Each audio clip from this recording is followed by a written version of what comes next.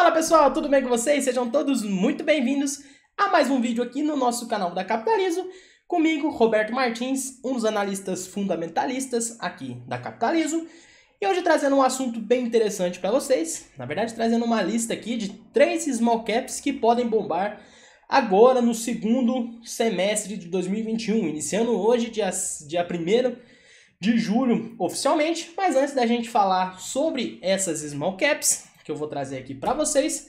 Sempre deixo aqui o cupom, como sempre, e hoje iniciando aqui esse nosso cupom especial da comemoração da independência dos Estados Unidos, né? Então o nosso cupom aqui que vai dar 30% de desconto para você na compra do nosso produto Capitalizo completo, tá? Que como o próprio nome já diz, engloba todos aqui os nossos produtos, todas as nossas recomendações, mas no final do vídeo eu volto trazendo para você mais informações aí sobre os nossos produtos e também mais especificamente aí sobre o cupom vai estar tudo aqui também na descrição do vídeo aqui para vocês acessarem, mas é simplesmente entrar no nosso sistema e usar o nosso cupom EUA30, tudo maiúsculo, tudo junto para você então obter 30% de desconto na compra do Capitalizo completo, tá certo? Bom, então já trazendo para vocês aqui as nossas small caps, as três small caps que podem bombar agora no segundo semestre de 2021, né? E a primeira que eu tenho para trazer aqui para vocês é a Gol, tá, pessoal?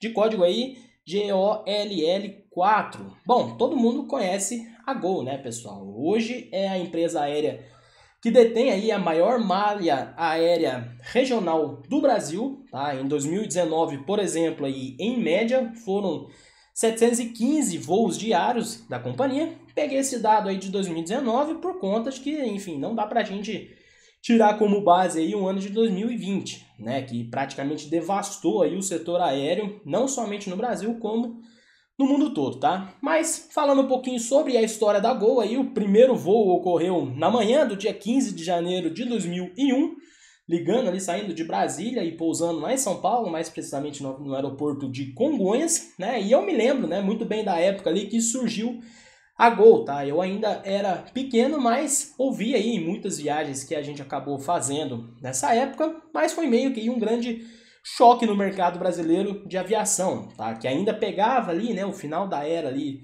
VASP, da Varg, por exemplo, né? A TAM ali já reinava também nessa época, e a Gol aí ela inaugurou então nesse grande choque aí o chamado do conceito low cost, tá? De passagens mais baratas e com serviços aí que a gente considera essenciais, tá? Muito bem na época, provavelmente vocês vão lembrar, para quem viajava aí eu já utilizava os serviços aéreos, né? Eram serviços muitas coisas durante aí o serviço de bordo, por exemplo, e a Gol chegou oferecendo aí praticamente o básico, o essencial, mas em comparação acabou barateando e muito os custos de passagem aérea, tá? Então rapidamente aí o público aceitou muito bem a Gol no mercado e que foi um grande boom depois que acabou se tornando aí essa gigante como a gente conhece hoje, tá certo? E agora falando um pouco mais sobre esse atual momento, como eu disse, né, o setor aéreo aí, ele sem dúvida nenhuma foi um dos setores mais prejudicados pela crise, né, e continua sendo muito prejudicado. Isso, como eu disse também em termos globais, não somente no Brasil, por conta aí dessas restrições de deslocamento no mundo todo, tá? E é um setor que até hoje ela vem, ele vem então se recuperando. Mas, né, não podemos deixar de considerar o quão essencial é o serviço de transporte aéreo, né, pessoal? É um setor que por si só é bastante complicado se a gente for pensar para o longo prazo, né, analisando as, as empresas especificamente, mas de uma coisa é certa, tá? Depois de todas essas quedas aí que a gente viu no setor aéreo, as companhias aí melhor posicionadas dentro do setor em termos de mercado, por exemplo, vão surfar então bastante essa onda aí, ou pelo menos espera-se que essas empresas elas surfem essa onda de recuperação tá certo? Nesse slide aí que está mostrando da, na tela aí para vocês, foi recuperado da apresentação da empresa do primeiro trimestre de 2021, com a expectativa deles, tá, por parte da Gol aí de recuperação ao longo do segundo trimestre de 2021, tá? Eu até vi um dado muito interessante aí recentemente, falando que pela primeira vez desde março de 2020, a quantidade de passageiros nos aeroportos dos Estados Unidos ultrapassou aí a marca de 2 milhões de pessoas por dia, tá? Isso lá, tá? Então, mas, né, a gente pode tirar como base que com o avanço da vacinação por aqui também, no Brasil, como é o caso que a gente vê já nos Estados Unidos por lá, né, já tomando, retomando a normalidade, né? Então, com a recuperação do setor por aqui também, a Gol ela pode sim despontar então como uma boa opção já nesse segundo semestre, tá? Lembrando que a previsão aí que estão comentando para o Brasil e que tem sido levantada é que em setembro, outubro aí desse ano a gente já tem então toda a população adulta, pelo menos vacinadas aí com a primeira dose, tá? Então, ou seja, vamos aguardar, mas com certeza é um grande player aí que pode surfar muito bem essa onda de recuperação, tá certo? Bom, a outra empresa que eu trago aqui para vocês, a segunda é a Alupar, tá? De código aí Alup11, nesse caso aí das units, né? Outra companhia então, outra gigante do nosso país aqui e que atua especificamente no setor elétrico. Para quem não conhece, a Alupar ela nasceu lá em 2007 como uma hold, né, de ativos de transmissão e de geração de energias e que antes ali eram controlados então pela empresa pela Guarupart, tá certo? Então, até hoje, é um dos principais players aí que a gente tem aqui no nosso Brasil quando a gente trata de transmissão de energia e também na parte de geração elétrica, tá? Mas principalmente nessa parte de transmissão aí, que é bem representativo dentro do negócio da empresa. Inclusive, como vocês podem ver na imagem, né, dá para ver toda essa evolução das linhas de transmissão, até mesmo antes ali de 2007, né, da formação da holding, até hoje, inclusive com as expectativas aí para o futuro. Tá? Hoje a companhia ela conta aí com mais de 6 mil quilômetros de linhas que cortam aí vários estados do Brasil, entre eles Santa Catarina, Mato Grosso, Minas Gerais, também vários estados ali do Nordeste, tá? E como vocês podem ver, a intenção deles é expandir então para quase 8 mil quilômetros após aí 2022, tá certo? E falando mais sobre esse processo de expansão da empresa, a Lupar ela tem investido pesado nos últimos anos, tá? Justamente para implementar então esses novos projetos aí de expansão. E é justamente isso, por isso que eu trago aqui a empresa nessa nossa lista, tá? A empresa aí no nosso entendimento, ela tem se consolidado para aproveitar a partir de agora e principalmente do próximo ano aí todos esses projetos que entrarão em operação, tá? Algo que deve favorecer então na nossa visão bastante a geração de caixa da empresa e que deve gerar aí bons dividendos no futuro bem próximo, tá, pessoal? Além disso, né, o próprio segmento aí elétrico como todo, principalmente o segmento de transmissão de energia, tem como característica essa boa previsibilidade de geração de caixa, tá?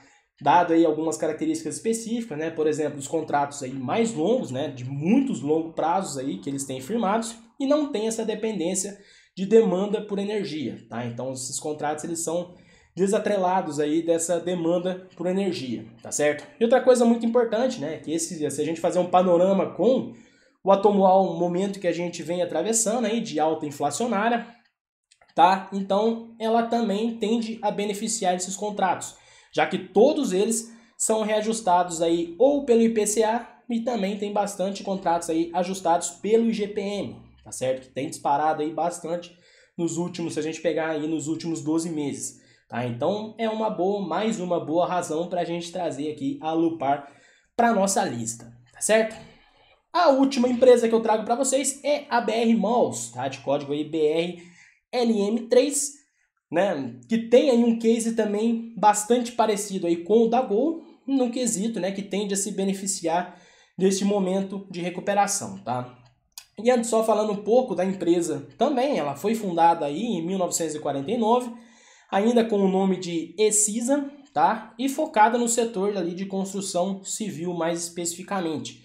A BR Malls em si, como a gente conhece, ela foi criada ali no final de 2006 e hoje é uma das maiores companhias de shopping center da América Latina, né? Só para vocês terem uma noção em termos de número, o ABL, se a gente pegar, ou seja, a área bruta locável total, são mais aí de 1,2 milhão de metros quadrados, tá? Mas se a gente considerar somente o ABL próprio, são esses aí 832 mil metros quadrados que vocês estão vendo aí na tela nesse nosso gráfico, tá? E outra coisa bastante interessante é a, pulverização muito bem muito bem distribuídos, né, ao longo do Brasil aí dos ativos da companhia, tá certo? E como eu adiantei, então, o caso da BR Malls, ela é bem parecida com esse melhor aproveitamento, né, que a gente enxerga aí do, do de recuperação em que a gente vai passar, tá? Os shoppings aí foi também um dos segmentos mais afetados aí ao longo da pandemia, com o fechamento completo aí de praticamente todos eles. E agora, da mesma forma, se a gente fazer um panorama aí com o setor aéreo novamente, né, o setor de shoppings ele também vai se recuperar, tá, pessoal? Pelo menos a gente espera isso para que venha aí com a normalização, tá? E hoje a gente enxerga então a BR Malls aí como um portfólio que deve se aproveitar e muito bem desse momento de, é, de recuperação como um todo, tá certo? A companhia aí passou por um recente, por um recente processo aí de reciclagem dos seus ativos, como vocês também estão vendo aí na imagem, tá? Principalmente nos últimos anos, focando naqueles ativos então com padrões mais elevados e principalmente muito bem localizados, tá? É o que eu sempre gosto aí de ressaltar que no mercado imobiliário, né, são três regras que vão mandar sempre, tá? A primeira é localização, a segunda localização e a terceira também é localização, tá certo? E a BR Mal certamente então desponta como um dos principais players aí para se beneficiar desse momento de recuperação aí do setor de shoppings como um todo, tá? E é justamente por isso que ela tá aqui na nossa lista e que encerra aqui a nossa lista de três small caps que a gente enxerga que pode bombar aí no segundo semestre de 2021, tá certo? Então, falando agora um pouco mais sobre os nossos produtos, como eu adiantei para vocês, né, a gente tem aqui o Top Fundos, que tem todas as recomendações de fundos de investimento, inclusive de fundos imobiliários. Tem a parte do Invista em Ações, que aqui você vai encontrar tudo sobre ações, seja small caps, nacionais, internacionais, tudo voltado para o longo prazo, tá? Todas essas nossas recomendações de ações.